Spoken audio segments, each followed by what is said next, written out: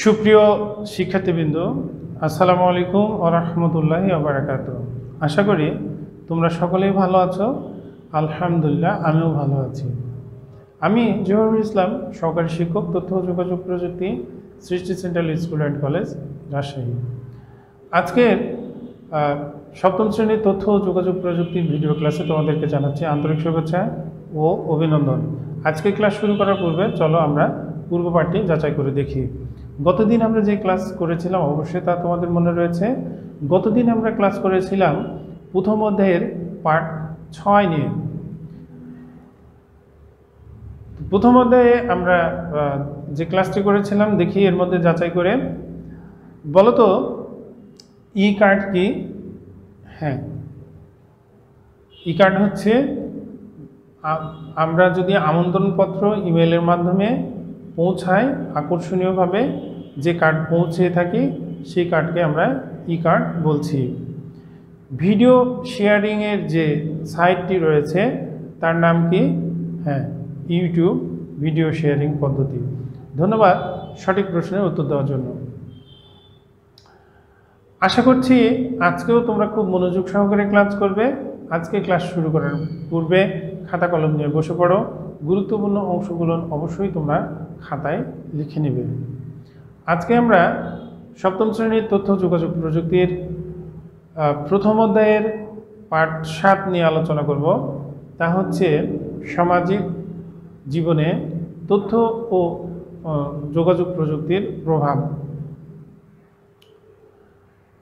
অবশ্যই তোমরা লক্ষ্য করে দেখেছ যে গত আমরা যে পাঠ নিয়ে আলোচনা করেছিলাম এই পাঠের বিষয়বস্তু ছিল কিন্তু সামাজিক জীবনে তথ্য, যোগাযোগ, প্রযুক্তি। এইখান থেকে আমরা কিছু কিন্তু ধারণা পেয়েছি। কিন্তু আমরা দেখি যে সামাজিক জীবনে তথ্য, যোগাযোগ, প্রযুক্তির যে প্রভাব আছে, আরও কোন কোন ক্ষেত্রে এই প্রভাবগুলো বিস্তার করতে পারে তা আমরা আজকের ক্লাসে দেখব। আজকের ক্লাস থেকে আমরা যা শিখতে পারব তা হচ্ছে যে প্রোফাইল কি, সামাজিক যোগাযোগ মাধ্যম কি এবং স্ট্যাটাস কি। এই সম্পর্ক নিয়ে আমরা আলোচনা করব। তো সামাজিক যে যোগাযোগ মাধ্যমগুলো হচ্ছে, এই মাধ্যম অর্থাৎ আমরা যে সামাজিকভাবে একে অন্যের সাথে যোগাযোগ করি, এটিকে বলা হচ্ছে সামাজিক যোগাযোগ। কিন্তু সামাজিক যোগাযোগ মাধ্যম বলতে গেলে আমরা বুঝি যে আমরা সামাজিকভাবে একজন অন্যজনের সাথে যে মাধ্যম ব্যবহার করে, যে পদ্ধতি ব্যবহার করে যোগাযোগ রক্ষা করি বা যোগাযোগ স্থাপন করি তাকে আমরা বলছি সামাজিক যোগাযোগ মাধ্যম। বিষয়টি আহ, আশা করি তোমাদেরকে বোঝাতে পেরেছি। তাহলে আমরা বলতে পারি বলো তো সামাজিক যোগাযোগ মাধ্যম কি? হ্যাঁ আমরা যে পদ্ধতিতে বা আমরা যে মাধ্যম ব্যবহার করে যে সমাজের সমাজের মানুষের সাথে একে অন্যের সাথে যোগাযোগ করছি সেই থেকে বলা হচ্ছে সামাজিক যোগাযোগ মাধ্যম। তাহলে সামাজিক যোগাযোগ মাধ্যমের কয়েকটি আমরা জানি নাম রয়েছে। তা হচ্ছে তার মধ্যে সবচেয়ে বেশি জনপ্রিয় মাধ্যমটি হলো ফেসবুক এর পাশাপাশি আমরা আরও জানি যে টুইটার রয়েছে মাইস্পার রয়েছে এবং জোপা নামের কয়েকটি সাইট রয়েছে। এই সাইটের মধ্যে সবচেয়ে গুরুত্বপূর্ণ এবং সবচেয়ে জনপ্রিয়ভাবে সবার কাছে চলে এসেছে তা হচ্ছে ফেসবুক মানে সর্বজনীনভাবে। এর পরবর্তীতে রয়েছে টুইটার বলো তো কয়েকটি সামাজিক যোগাযোগ মাধ্যমের নাম বলো তো ফেসবুক টুইটার মাইস্পা জোপা ধন্যবাদ সঠিকভাবে প্রশ্নের উত্তর দেওয়ার জন্য। এর পরবর্তীতে আমরা দেখি যে ফেসবুকে যে আমরা কোনো কিছু লিখি, এই যে লিখার যে পদ্ধতিগুলো রয়েছে বা আমরা একজনকে একজন অন্যজনকে আমরা যে মনের ভাবগুলো প্রকাশ করে থাকছি, এই প্রকাশ করার মাধ্যমকে আমরা কিন্তু স্ট্যাটাস বলছি। তাহলে আমরা সামাজিক যোগাযোগ মাধ্যমে শুধুমাত্র ফেসবুকে আমাদের মনের ভাব প্রকাশ করার জন্য যে তথ্যগুলো আমরা দিয়ে থাকছি, তাকে আমরা কি বলছি? স্ট্যাটাস বলছি। ধন্যবাদ, সঠিক প্রশ্নের উত্তর দেওয়ার জন্য। তো প্রোফাইল কি? প্রোফাইলটি হচ্ছে, দেখো এখানে আমরা যখন ফেসবুক টুইটার লিঙ্কডিন এরপর মাইসপা জোপা যত ধরনের আমরা যোগাযোগ মাধ্যম ব্যবহার করে থাকি না কেন, আমরা যে যোগাযোগ মাধ্যমগুলো যখন আমাদের নিজের একটা আইডি নাম্বার অর্থাৎ যে অ্যাকাউন্ট নাম্বার আমরা ক্রিয়েট করি, এই অ্যাকাউন্ট নাম্বার ক্রিয়েট করার সময় আমাদের বিস্তারিত তথ্য এখানে প্রদান করা থাকে। অর্থাৎ আমরা সংক্ষিপ্তভাবে এটাকে বলতে পারি বায়োডাটা তো বায়োডাটার যে যেটা রয়েছে একে আমরা প্রোফাইল বলছি। অর্থাৎ একজন ব্যক্তির সমস্ত তথ্য আর অন্য আরেকজন ব্যক্তি জানতে পারছে। অর্থাৎ একজন ব্যক্তির সমস্ত তথ্য যেখানে জমা থাকছে, সেটিকে বলা হচ্ছে প্রোফাইল বলতো প্রোফাইল কি? হ্যাঁ একজন ব্যবহারকারীর যে ধরনের তথ্য বা সকল ধরনের তথ্য যেখানে জমা থাকছে তাকে আমরা বলছি প্রোফাইল এবার দেখি টুইটারে যে একশো চল্লিশ অক্ষরের যে বার্তাটি পাঠানো হয়, তাকে আমরা বলতে পারি টুইট। তাহলে টুইটারে যে একশো চল্লিশটি অক্ষরের বার্তা পাঠানো হচ্ছে, তাকে কি বলা হচ্ছে? হ্যাঁ তাকে বলা হচ্ছে টুইট। ধন্যবাদ সঠিক প্রশ্নের উত্তর দেওয়ার জন্য। এবারে আমরা দেখি যে এই সামাজিক যোগাযোগ মাধ্যমের প্রভাব কি? হ্যাঁ অবশ্যই প্রভাব রয়েছে। দু হাজার দশ থেকে দু হাজার এগারো সালের মধ্যে আরব বিশ্বের, বিশেষ করে লিবিয়া, মিশর এবং এই যে দেশগুলো ছিল, ভিয়েতনাম, এই দেশগুলোর কিন্তু বিশেষ করে এই সামাজিক যোগাযোগ মাধ্যমের কারণে বিপুল মানে অনেক পরিবর্তন হয়েছে। তারা জাতিগতভাবে অনেক পরিবর্তন সাধন করতেও পেরেছে। বলতো কোন দেশগুলো কত সালে তাদের সামাজিক যোগাযোগ মাধ্যম ব্যবহার করে পরিবর্তন ঘটিয়েছে।